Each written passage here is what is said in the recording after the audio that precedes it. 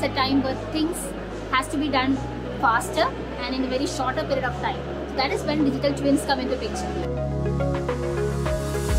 There is a lot of time that gets involved in multiple rounds of testing in animals or on human skin. We have digital twin of skin, have a simulated human skin structure on which you can do all that kind of tests like cosmetic drugs or intravenous drug which you basically apply on the skin or inject into the skin.